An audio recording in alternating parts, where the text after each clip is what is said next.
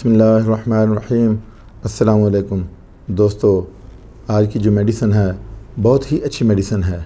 ये कफ़ एलर्जी हो, उसकी बेहतरीन मेडिसन है, जिसका नाम है सैनिगा। इसको मदर टिंचर में ही ज़्यादा इस्तेमाल किया जाता है। ये एक प्लांट किंगडम की मेडिसन है, जो कि नॉर्थ अमेरिका में पाई जाती है। ये लंग्स इन्फेक्शन में बेहतरीन मेडिसन है। इसके अलावा एलर्जी खांसी में भी अला मुकाम रखती है। ज़्यादातर ये एलर्जी की मेडिसिन इसका हम एक्शन देखते हैं। सेंटर ऑफ़ एक्शन क्या है इसका? ये मेडिसन इन्फेक्शन और सूजन को कम करती है। ये एक एंटी इन्फ्लेमेटरी मेडिसिन है, जिसमें कहीं भी सूजन हो स्वेलिंग हो तो यही मेडिसिन दी जाती है। अस्थमा में बेहतरीन काम करती है, यानी रेस्पिरेटरी की बेहतरीन मेडिसिन है। रेस्पिरेटरी सिस्टम पे अच्छा काम करती है। ये मेडिसिन एंटी एलर्जिक भी है और रेस्पिरेटरी के तमाम प्रॉब्लम को हल करती है। ये ब्रोंकाइटिस में भी दी जाती है। ये इन्फेक्शन में भी दी जाती है। इसके अलावा आईब्रो में खुश्की हो।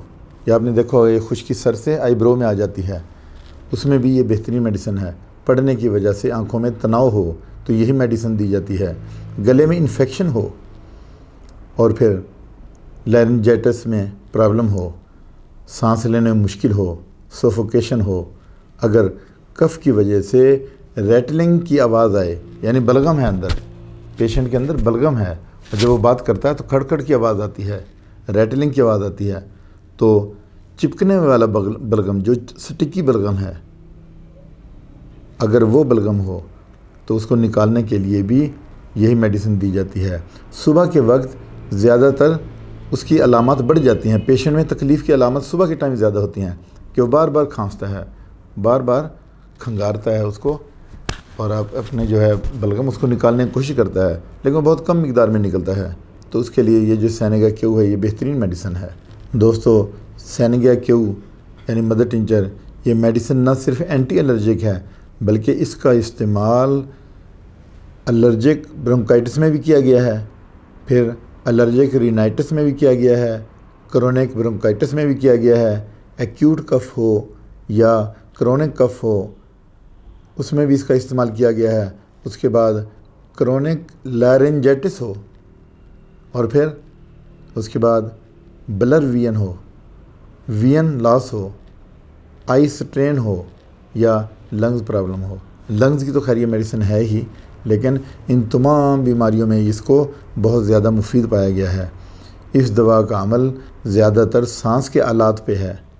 यानी जब हम सांस लेते हैं ना, मुँह से लेके, नाक से लेके और लंग्स तक इसका असर पाया गया है।